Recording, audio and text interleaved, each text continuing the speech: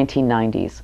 I mean, I've been arrested doing doing protests, you know, did community service. I mean, all kinds of things like that. But um, back then, it's I don't know if this will make sense to younger people now, but there was no um, Facebook or Google or MySpace or anything like that, or MoveOn.org for political campaigns. So we actually would take our bodies and walk out into the street with signs and messages and um, you know stop traffic, literally. I mean, there'd be hundreds, sometimes thousands of us.